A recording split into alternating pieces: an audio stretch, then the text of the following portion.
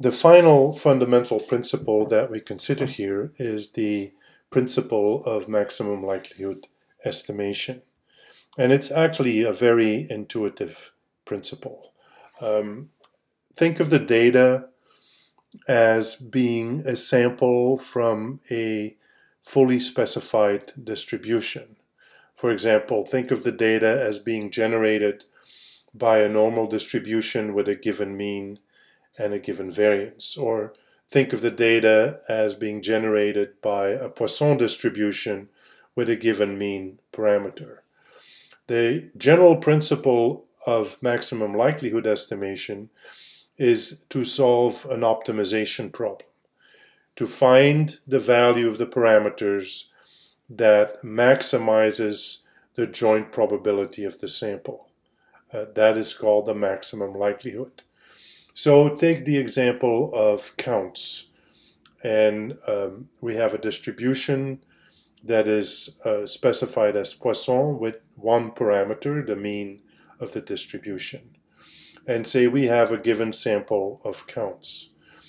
And we can compute the joint probability if we assume independence. That's the probability of the first observation times the probability of the second observation and so on. So we can compute that. Let's say we have 10 observations, so we have 10 of these probabilities.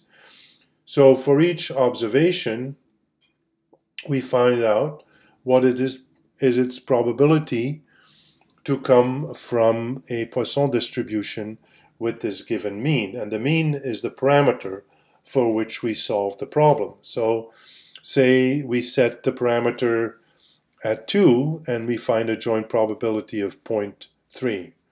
Then we set the parameter at 3 and we find a joint probability of 0.5. So that's better. And we keep doing this until we find a parameter value that gives us the highest possible joint probability. That is then the maximum likelihood estimator. So the maximum likelihood estimation principle is this idea of how to carry out estimation to find the parameter values that maximize the joint probability. So this is actually a very parametric approach because of course we have to specify the distribution and then once we do that everything is set and it becomes a, a fairly straightforward optimization problem. The key concept in this is the likelihood function, which is essentially another word for the joint probability of the sample. And it's important to uh, realize that this likelihood approach thinks of the sample as a function of the data and the parameters, but we maximize the parameter, the unknown to solve for it, so to speak, is the parameter.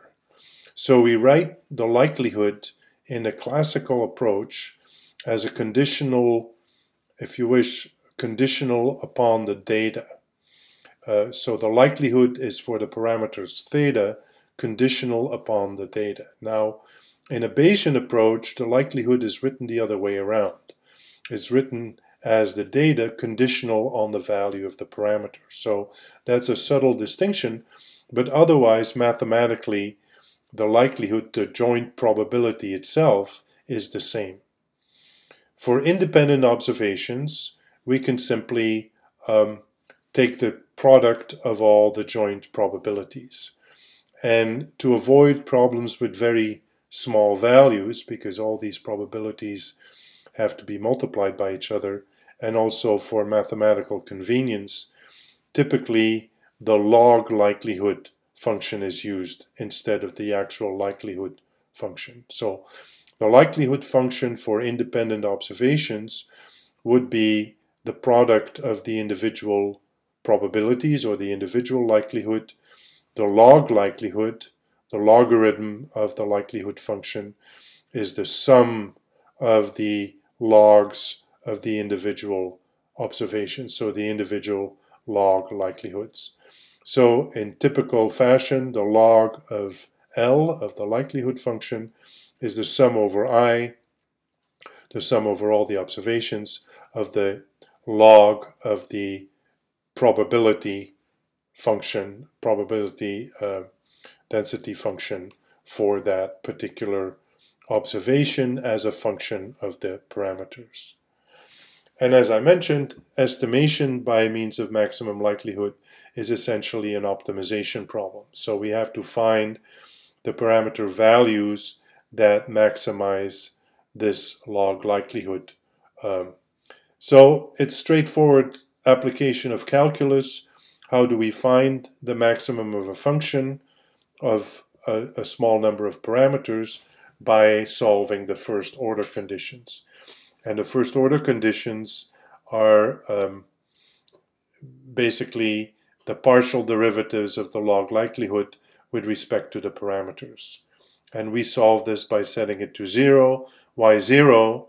Because at the maximum of the function, the partial derivative, which is actually the slope, corresponds to the slope of the tangent to the function. At the maximum, the tangent is a horizontal, so the slope is 0.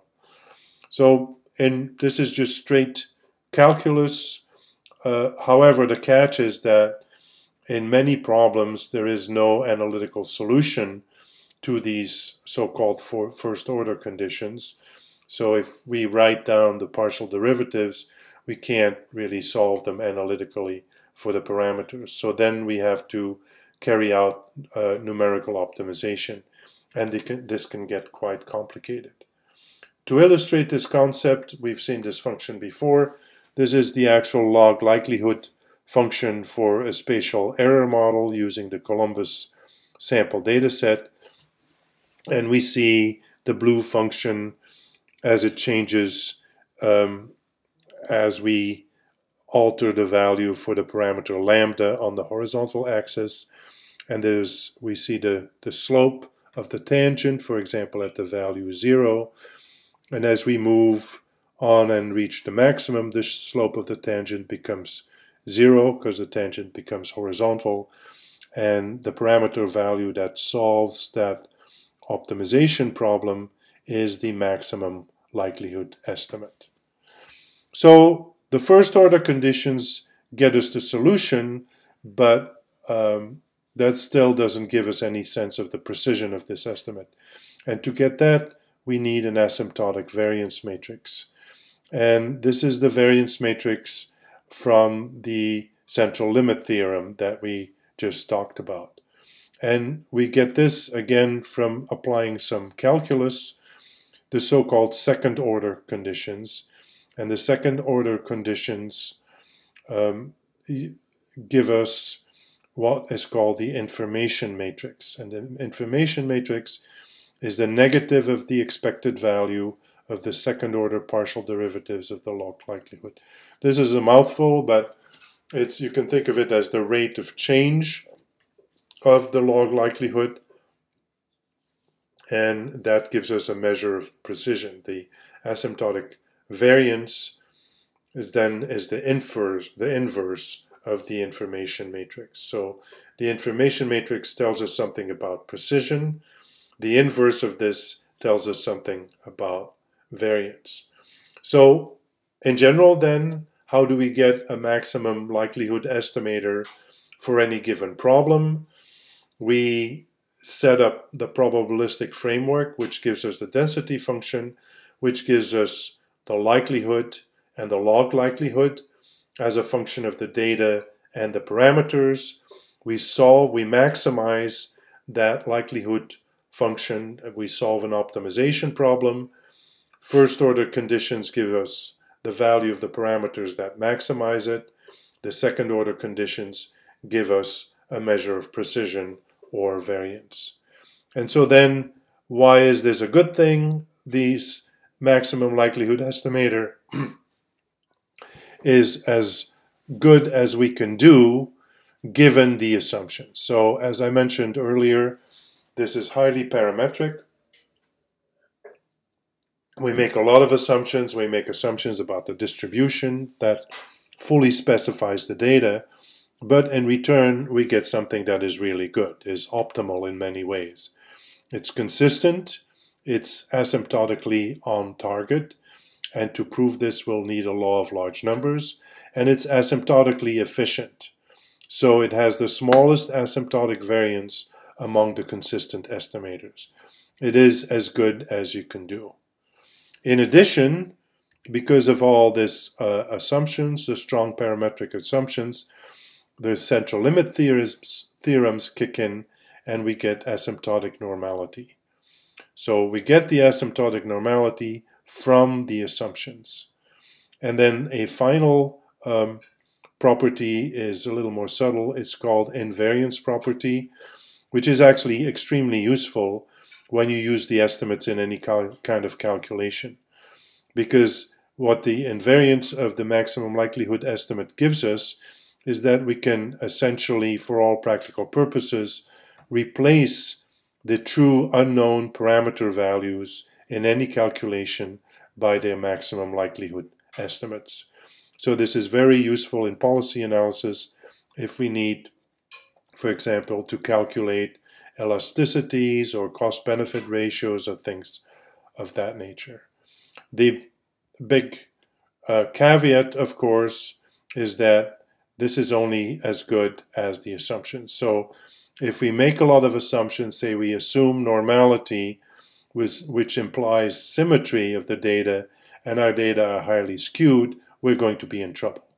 So that's always good to keep in mind. That's why there are a lot of specification tests in this maximum likelihood environment to make sure that these assumptions actually hold. Now, modern econometrics has done away with a lot of the need of these strong parametric assumptions because we get the normality as a result of central limit theorems that are much more general than the original ones that we used for um, maximum likelihood, classical maximum likelihood estimation.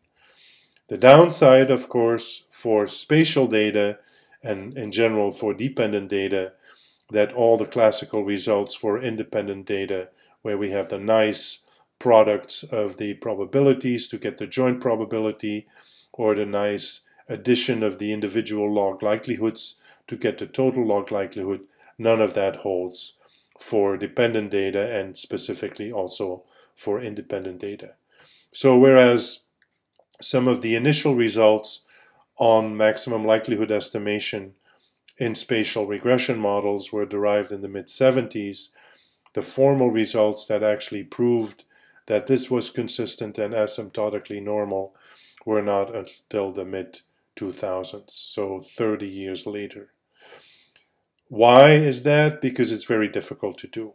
It requires specialized laws of large numbers to establish consistency in a case of not independent and not identically distributed random variables, which is fairly complex, and it needs appropriate central limit theorems to establish asymptotic normality in the presence of non-identically and non-independent distributed random variables.